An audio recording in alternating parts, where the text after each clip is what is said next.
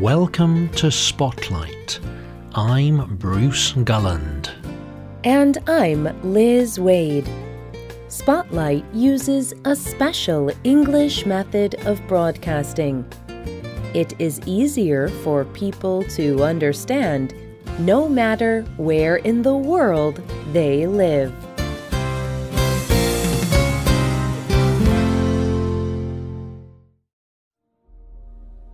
Have you heard the English expression love at first sight? Here is an example from the film Titanic. This film is a very popular love story. The love story happens on the famous Titanic ship. In the film, a young man and young woman meet for the first time. Their names are Jack and Rose. One day, Jack sees Rose standing high up on the ship. His face changes. He thinks she is beautiful. Rose looks at Jack too. Something happens between them a kind of connection. They have to meet. They already love each other. They have experienced love at first sight. They fell in love the first time they saw each other.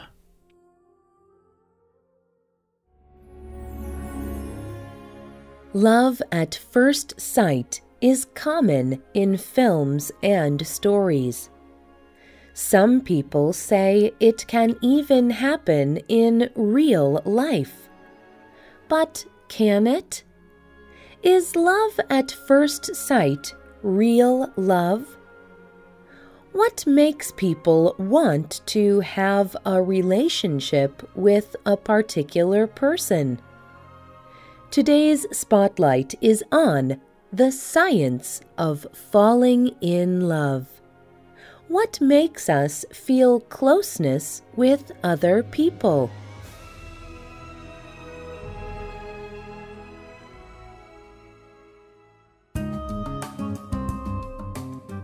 Falling in love can seem mysterious. Strong feelings develop, sometimes quickly. But why? Scientists and experts study love and attraction, that feeling that you want to be closer to another person. They study changes in a person's body when that person feels love. One thing that scientists measure is hormone levels. Hormones are substances in the body that affect behavior and emotions. Scientists found particular hormones in a person who is falling in love. These give people more energy and make them feel happy.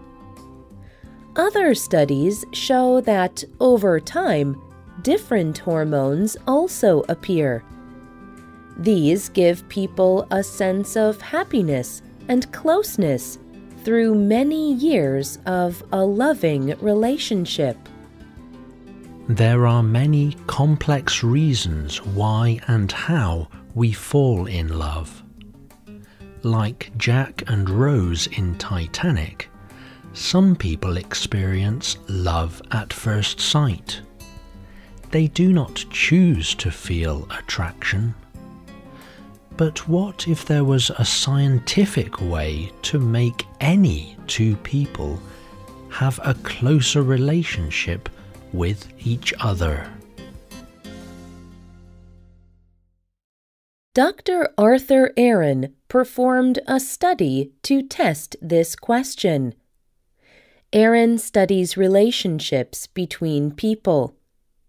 He wanted to see if he could scientifically make people feel an emotional connection with another person.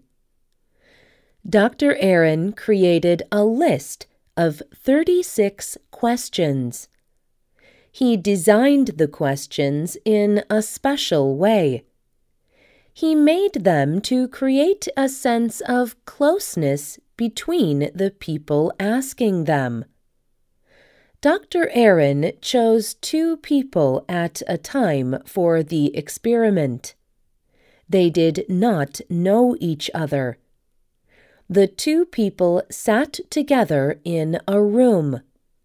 They took turns asking and answering Dr. Aron's 36 questions. Here are some of the questions they asked. When did you last sing to yourself?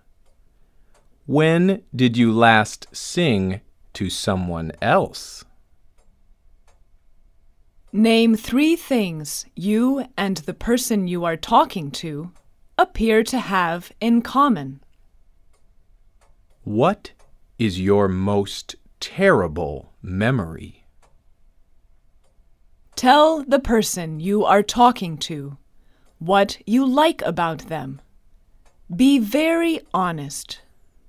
Say things that you might not say to someone you have just met.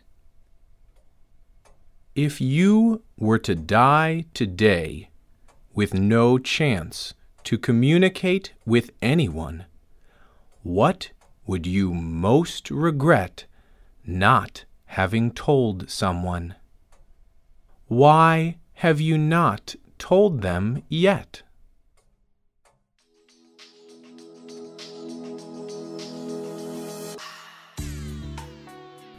The two people spent almost an hour talking together.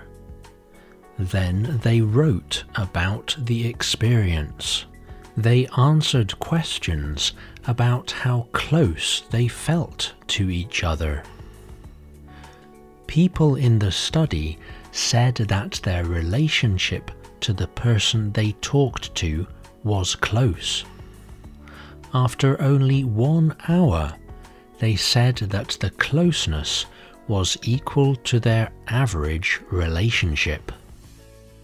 From this study, Dr. Aron found that relationships grew quickly when people shared more about themselves. The questions were personal and equal. The questions also became more complex over time. This, Dr. Aron says, is how close relationships are made. Dr. Aron even found that the study created lasting relationships in the real world. Many of the people who talked to each other continued to see each other and do things together. But did this study produce real closeness? Dr. Aron answers this question in a journal article about the study. We think that the closeness produced in these studies is similar to closeness in natural relationships that develop over time. But it seems unlikely that these questions produce loyalty, dependence, commitment, or other important qualities of a relationship. These qualities may take longer to develop. So Aron's questions do not really make people have a relationship, but they show the kind of conversations that help two people feel closer to each other.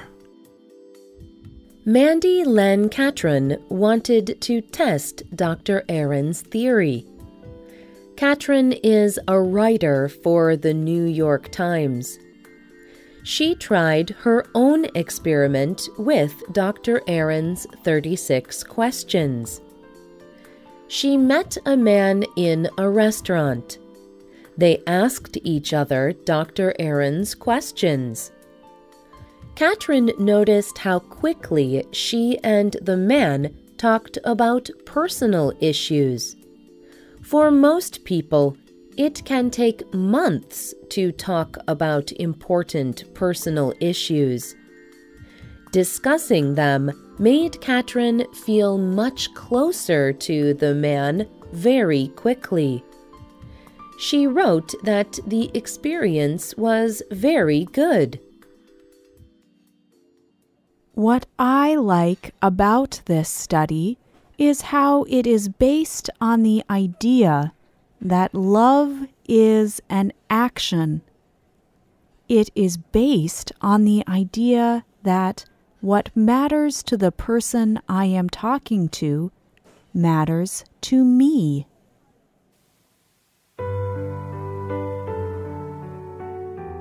Catron did fall in love with the man she talked to in the experiment.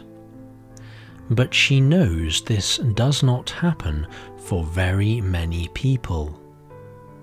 For most people, forming close relationships takes time and energy. Relationships are also very complex. Science has shown that many things influence who we are attracted to and why. But Aron's study shows that what is important for relationships is learning to grow closer together. Sue Johnson wrote a book called Love Sense. It looks at the science of loving relationships. She told the Huffington Post It is completely terrible for us to keep defining love as a big mystery. We just need to know about it. We need to know how to shape it. What about you? Do you think love is an action? Have you ever fallen in love with someone? Was it love at first sight? Or did you take time to build a feeling of closeness? Tell us what you think. You can leave a comment on our website or email us at radio at radioenglish.net. You can also comment on Facebook at facebook.com slash spotlightradio. The writer of this program was Rena Dam. The producer was Michio Ozaki. The voices you heard were from the United Kingdom and the United States. All quotes were adapted for this program and voiced by Spotlight. You can listen to this program again and read it on the internet at www.radioenglish.net.